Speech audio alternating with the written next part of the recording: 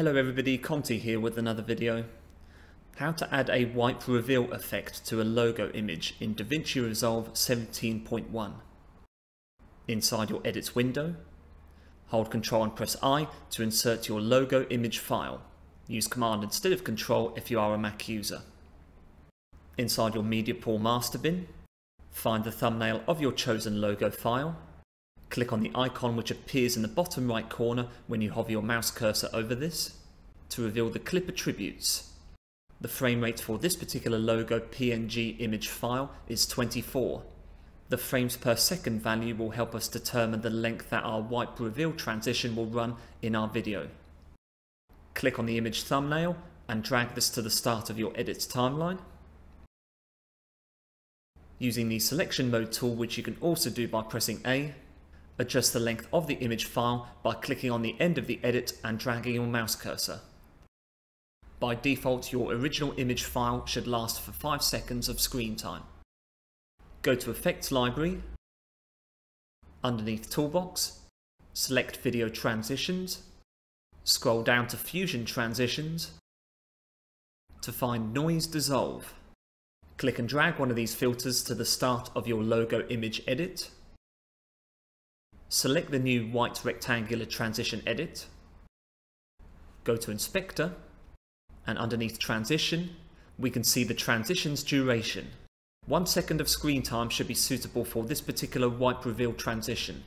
For the purpose of making this transition effect more significant in this particular tutorial, I will increase the duration here by 0.3 seconds. Underneath Effect Noise Dissolve, ensure that version 1 remains selected. In order to identify how the logo will be revealed on screen, we first need to identify the edge of the noise dissolve effect.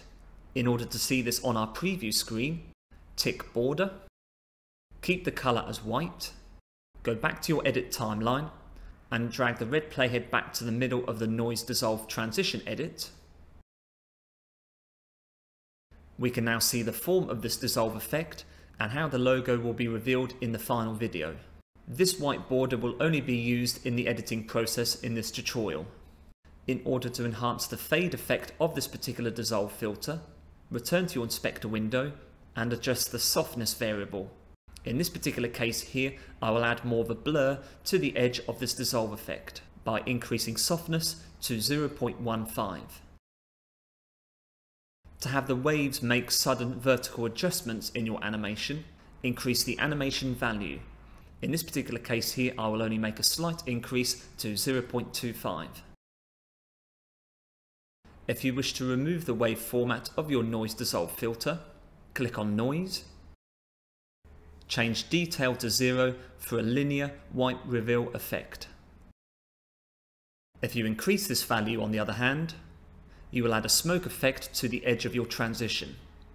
In this particular case here, I will keep the detail level at 1. What if you wanted to change the direction that these waves flow in? On your edit timeline, right click on your noise dissolve edit and go to open in Fusion page. Inside your nodes panel, find the noise dissolve container.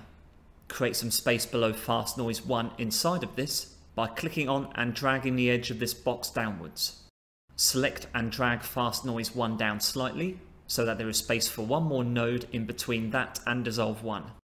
Ensure that fast noise 1 is still selected. Hold shift and press space.